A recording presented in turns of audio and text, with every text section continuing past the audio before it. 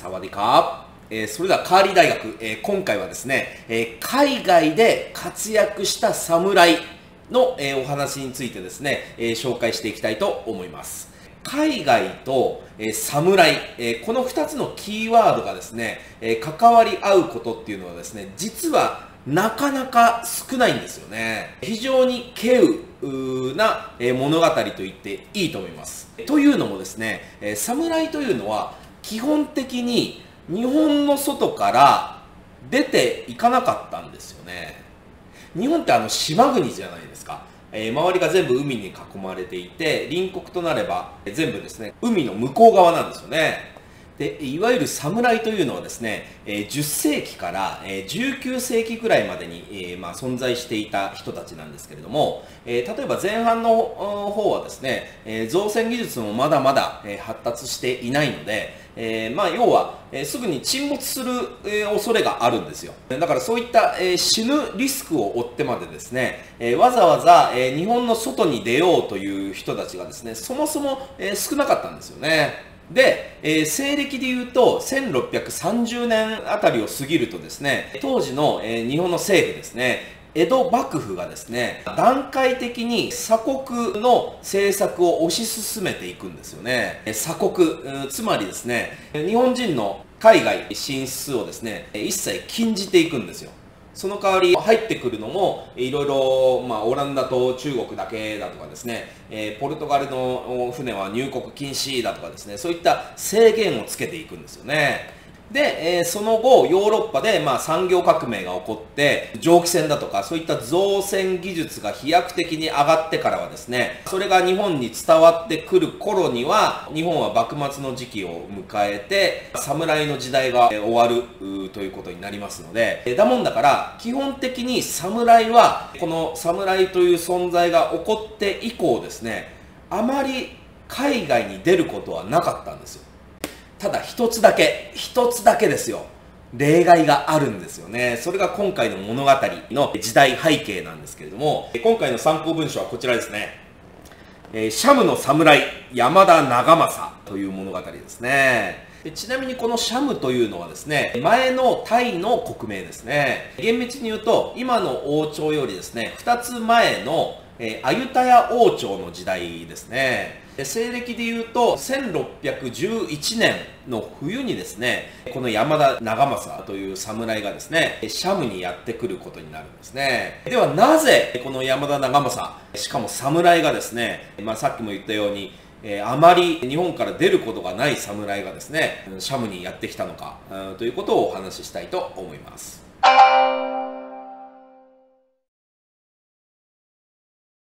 でこの山田長政という人はですね、えー、もともと駿河の国の生まれであったみたいですね、え、駿河の国というのはですね今で言うと静岡県に、え、当たりますね、え、だから富士山の麓のところですね。そこで大久保忠助という武士に仕えていた、え、元はというとですね武士ではなかったみたいなんですよ。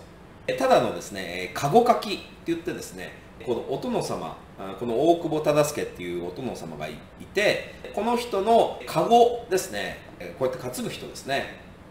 で普段もそうなんですけれども戦の時にもですね結構この籠っていうのはですね戦場をこう担いでこう お殿様を運んでいかなければいけないのですごく力はあったみたいですね。で、えー、その時も、えー、山田長政はですね、お殿様を担いで、江戸の町をですね、歩いていたんですよね。えー、そうすると、えー、くせ者だって言って、何人かですね、5、6人こう、人が出てくるんですよ。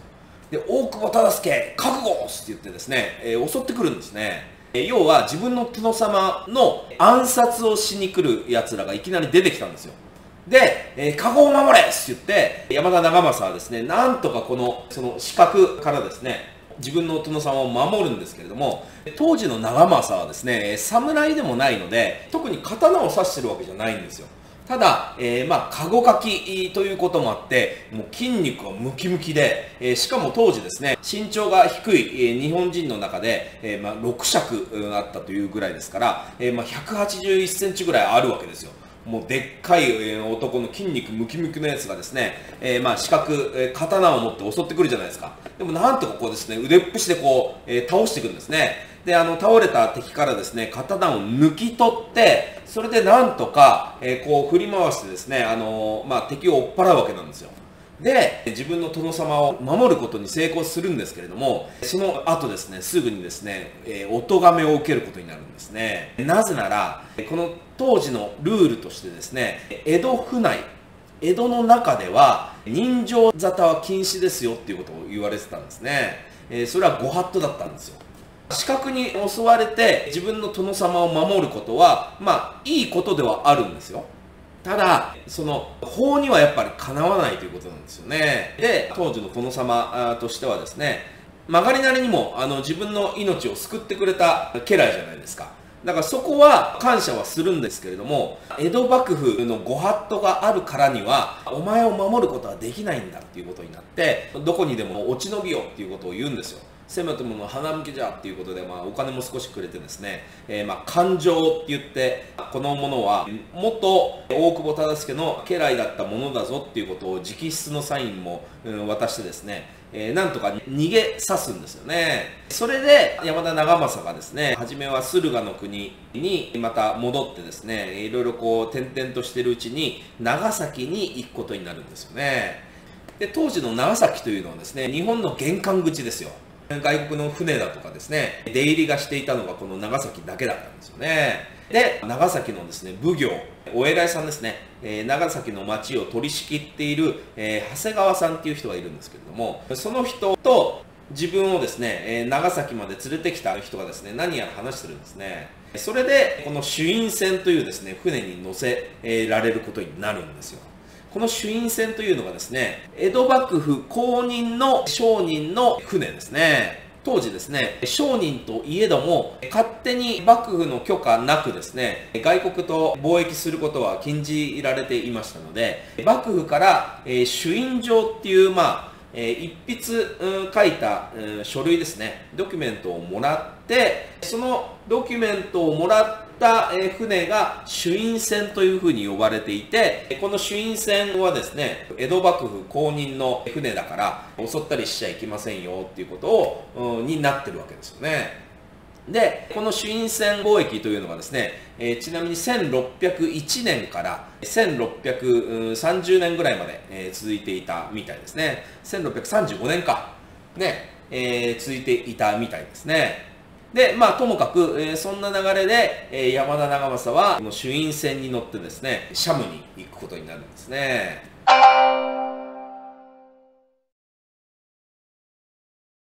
はい、えー、では長政がですね、えー、長崎から朱印船に乗ってシャムに向かっているこの間、今のうちにですね、当時の日本の事情についてですね、少しお話ししたいと思います。というのもですね、やっぱりこの日本の時代背景がですね、この山田長政の物語に影響してくるものでもありますので、そのあたりをですね、少し、え、お話ししたいと思います。当時の日本はですね、二つの、え、派閥によってですね、対立してるわけなんですよね。いわゆる豊臣派と徳川家康の派閥ですね。豊臣派というのはですね、これより少し前にですね、豊臣秀吉という人が事実上日本のトップに君臨していたわけなんですよね。ただ、この豊臣秀吉がですね、最後1598年に死んでしまってからは、豊臣秀吉はその息子秀頼をですね、立てるようにということを遺言で残したんですけれども、彼の死後、彼の家臣でもあった徳川家康がですね、この豊臣政権に対して、いろいろ難癖をつけてですね、あの、関ヶ原の戦いというのを引き起こすんですよね。それが、西暦でいう1600年、ちょうど1600年の時ですよ。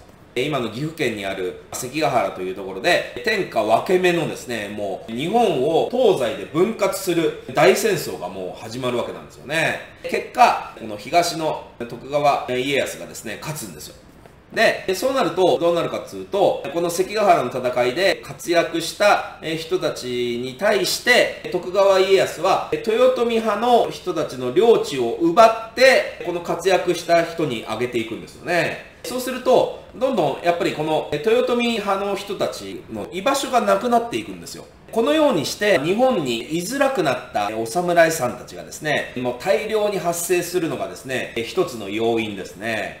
で、今一つはですね、豊臣秀吉がまだ生きていた頃からですね、たびたび発令されていたですね、禁教令というのがあるんですね。つまり、キリスト教の、まあ、事実上の禁止ですね。この1611年の少し前の時期からですね、キリスト教の人がですね、処刑にさせられたりだとかですね、実際にしていたんですよね。で、その禁教令が、まあ、徳川幕府になっても、また再度改めて禁教令っていうのが出たということにも一つの要因があるんですね。だから2つ、うん、ありますよね。1つは、関ヶ原の戦いで、だから負けた側の人たちですね。だから、侍ですね、しかも。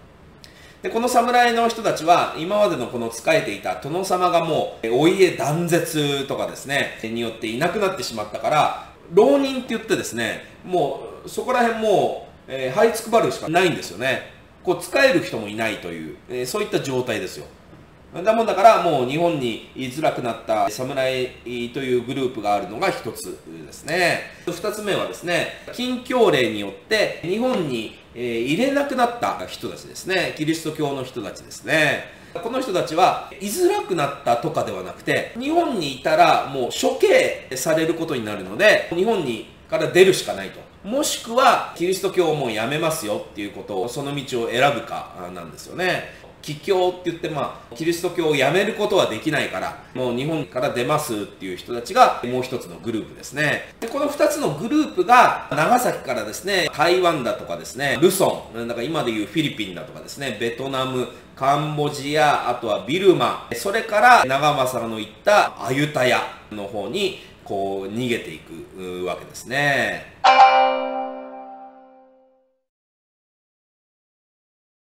で、えー、いよいよ長政の乗った衆院船がシャムにですね、到着するわけですね。当時のですね、首都はアユタヤですから、えー、今のですね、チャオプラヤ川から入ってくるんですね。こう登っていくわけですよ。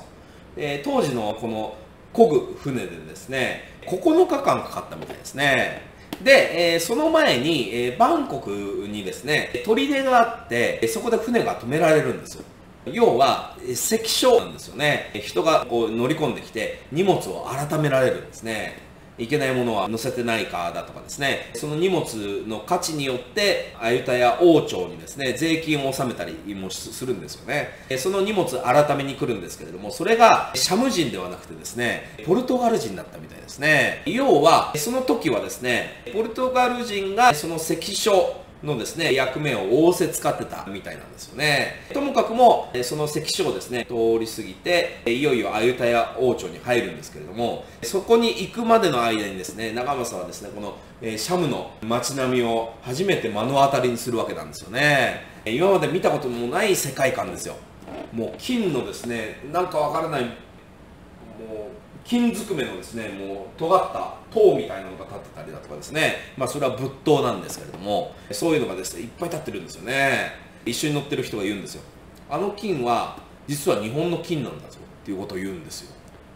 え？日本の金どういうことだっていうことになるんですけれども当時ですね日本って金の国だったっていうことはご存知ですかね？黄金の国ジパングっっていうのがですね一度は聞いたことはあると思うんですけれども、えー、黄金の国ジパングはですねこのマルコ・ポーロから来てるんですよね。マルコ・ポーロっていう人が、まあ、この時代より少し前に東アジアをですね旅してですね実はあの日本には来てないんですけれどもそういった噂だとか、まあ、記録だとかを見て黄金の国ジパングということを記録に残してるんですねマルコ・ポーロ自身がですね。ともかくそのように言われるほどにですね日本は金がいっぱい出てたんですよね。豊臣秀吉というのはですねその当時世界で一番の金持ちだったみたいですよ。まあ、これはちょっと余談話なんですけれども、えまあ、ともかくいっぱいその金が出てたと。で、その金は豊臣秀吉のこのファミリーがですね、持ってたと。ではなぜ日本の金をわざわざシャムにまで持ってきたのかというとですね、この日本の金を多く持ってるのは、やっぱり豊臣ファミリーなんですよ。この豊臣ファミリーというのはですね、もう一度言いますけれども、今からその11年前に関ヶ原で負けた側の人たちですね。徳川家康。この人が関ヶ原の戦いで勝って江戸に江戸幕府、まあ、政権を作りましたよ。で豊臣ファミリーは大阪にこの時期はいるんですけれども豊臣ファミリー、まあ、具体的にはですね豊臣秀吉の息子豊臣秀頼という人がですねまだ大阪城にいるんですよ。でこの豊臣秀頼がいる限りですねやっぱり徳川家康としては安泰じゃないんですよ。やっぱりね関ヶ原の戦いで勝ったとはいえども負けた人たちがですねやっぱり主を失った人たちがやっぱりこの大阪城に集まってくるんですよね。そうするとどうなります？この徳川家康がですねせっかく江戸に作った江戸幕府がですね脅かされることになるじゃないですか。だもんだから徳川家康はですねいろいろ難癖をつけて実は本心としては豊臣ファミリーを取り潰しにしたいんですよ。そのためいろんなこう政治のやり取りがあるんですけれども豊臣ファミリーにとってはやっぱり生きるか死ぬかの瀬戸際なんですよね。だもんだから武力が欲しい。武力が欲しいとなった時に当時のシャムではですね鉛と硝石が取れるということなんですね。鉛は鉄砲の弾になりますね硝石はそのまま火薬弾薬の元になるんですよねだからそういった武器の元ですよねを日本の金でもって買い付けてたんですよそういう時代だったんですよだから日本では豊臣派と徳川派が関ヶ原の後もですね関ヶ原で決着はついたもののその後も対立がやっぱあったんですけれども日本の外でもアユタヤでも豊臣方とですね徳川派の人たちのですね対立があったんですよ。そのアユタヤに長政は図らずとも、え、この流れ着いてくるわけなんですよね。面白いですね。